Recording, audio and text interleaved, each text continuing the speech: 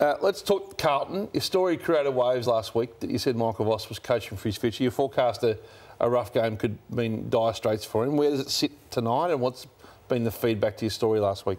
Yeah, well, I mean, as you heard from um, that package that we put together for off the top of the program, they are staunch publicly, the senior figures at Carlton, that Michael Voss will see out his contract. But that can change. You know, I, I wasn't expecting anything other than the positivity and the reassurances that you heard from the senior figures. What, what I can tell you, Hutchie, is that Luke Sayers, the president, is going away to Europe tomorrow in a, a, a, trip. I think it's his wife's birthday. That's been very well forecast. It's not necessarily the best timing, but you know people do have to live their lives at some point. Um, and the way that we all dealt with COVID means that he can um, be part of the club electronically from um, across the globe. However, I, I think he's got some thinking to do, and I think. Um, no one's suggesting that Michael Voss is going to get sacked tomorrow or, or this week or, or, or next week, but he's running out of time to turn. Last week you around. said uh, he was essentially coaching and it started that week. That performance couldn't have been much worse. Definitely not. In terms of a coach killing performance. So are you surprised on the back of what you said last week that there hasn't been a reaction to that performance last night yet? Well, I mean, there has been a reaction. I mean, you, you, only, had, you only had to follow a little bit of social media to see the savage react, reaction of, of Carlton. But that's every week, though. That's been for the last six Yeah, weeks. So they- we're not judging it by the fans. There will be action taken. They, they went away last week, didn't they, as a, as a team, the players, and Yep. had an attempt to get together and bond it. Yeah, they went down to uh, the Curnow's residence in Torquay and uh, I think camped in tents and got some good bonding done. And it was, by all reports um, from what the players have been saying to me, it was a, it was a great night. Um, it- it's just, there's a lot of positivity at Carlton, but it is not transposing itself on the field. The response to that was um, 14 players had one tackle or less. The, the cohesion in that team is lost. Like they, it's hard to imagine them putting the toothpaste back in the tube this year at least as a 15th ranked team. And the discussion now turns to whether he can he can survive the because there's only there's two scenarios. One is and with the risk of sounding insensitive, one is that he's moved on, and the, and the second is that they put different support around. Brian Cook said this, the chief executive, about the possibility of other assistant coaches at the end of the year. Will you shake up the football department around him at the end of the year? We will just have to wait and see with that one. We just have to live in the here and now for the time being. We have to improve. We know we're not competing well enough, long enough uh, against the best sides. We know that. So, right now is where it's at. This is what we have to concentrate on, improving right now. And then it's a long way away at the end of the season for Michael whether he can survive the storm. And I, I, I'm probably subscribed to the theory that it's going to be a challenge for him if they can't turn around. Where does Hardwick sit in this? If if he declares his hand, well, first of all, if he wants to coach again, does that force Carlton to make to consider it? Do you go and talk to him? Do you have to resolve it before you do? Where do you sit on this? No, well, I think the worst thing they can do is, is sack the coach now. And I, I, I wouldn't not saying now, but if- I understand. But At the end of Damien Hardwick said he's he needs a break. Uh, So the last person I'm going to be employing is Damien Hardwick. He needed a break. Carlton needs someone who is all in, mentally, physically up for the challenge. Well, who, who knows about So- Damien Hardwick? I, So, Kane, on that point, I heard you talking on radio about it this morning. If they play the way that they have been for the last month, if they play like that for the rest of the year and win somewhere between zero and three games, you, you still stand by the fact that you just stick with him because it's what? Well, my, my comment today was around a rash decision to sack the coach now. That, that would be the last thing that they need. I want to know what the problem is at Carlton, Yep. and I want them to tell me what it is because it's I- more than just the coach. Well, I listened to Michael Voss after the game, and they keep alluding to a problem, but they don't tell us, and it's on repeat. you know, we know that this game is made up, it's imperfect. Um, it's made up of mistakes and errors and willing to be able to take risk. The reality is this game's imperfect. Um, there's mistakes happen.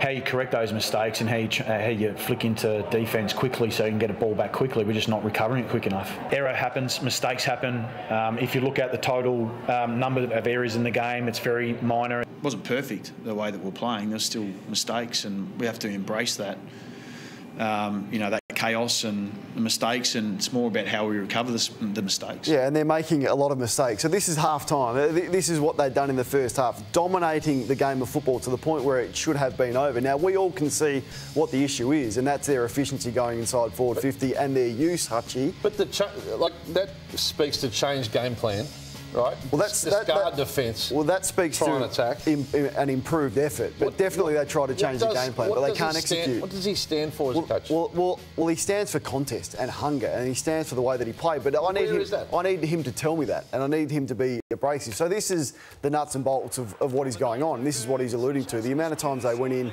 and made poor entries. But I need to know from Carlton, right? Is it the list or is it the coach? And if it's the list, it's a bigger problem than if it's the coach. Because if it's a list, Lordo, they have to blow the whole thing up like Collingwood did well, two I, years I, ago. I think they do, but think that it is uh, an, un, um, an, un, what's the word? an unbalanced, unbalanced, unbalanced list with what, how they pay players. So I think that's what they'll try and sort out.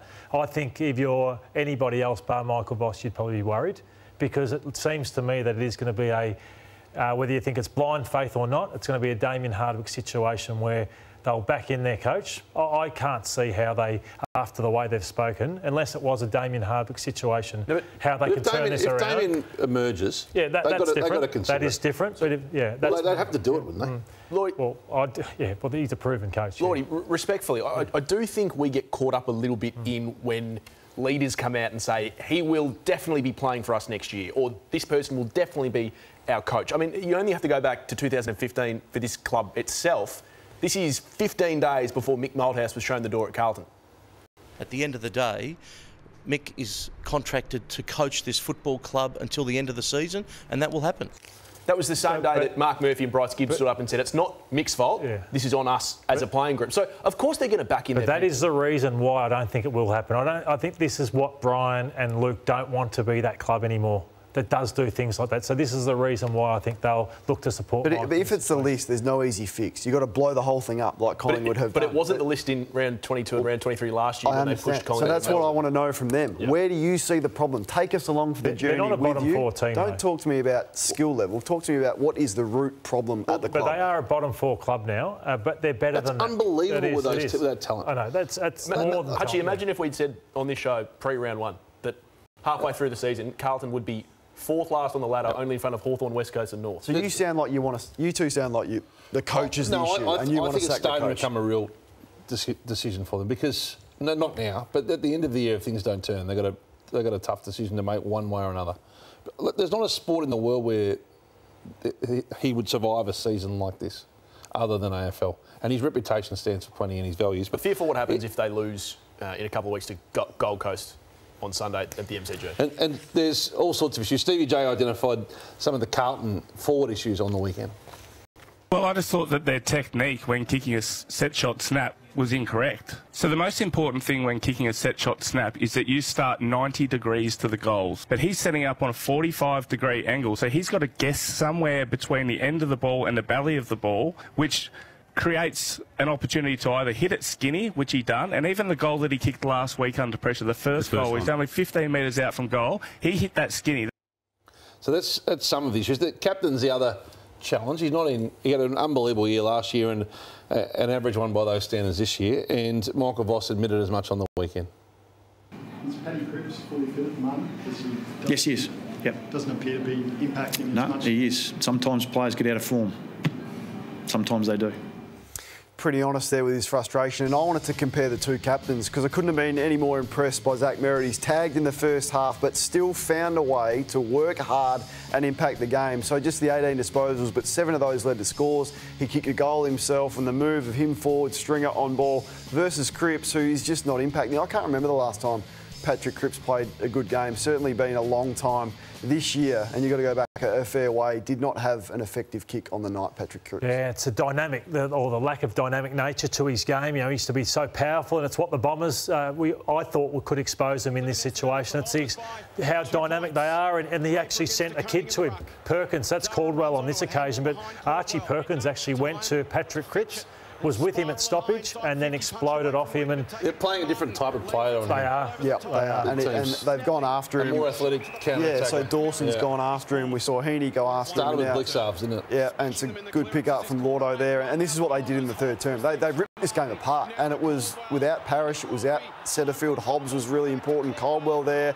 You know, they, they went forward and did maximum damage from the centre bounce, which has been Carlton's strength. It certainly was last year, but that's disappeared as well. So over the last 10 weeks, Carlton have lost eight and they've beaten North and the West Coast Eagles. So it shows now why they're a bottom four side. And just on the Bombers, who are fantastic, yeah, fantastic story. Yeah, they should make the finals. Now these are the guys that didn't play, uh, and I just wanted to highlight two in particular: Darcy Parish and Dylan Shiel. So that young midfield that's had an opportunity with their absence, that's where they've got to consider get that big key back in next year, and they should be challenging for top four, top six next season.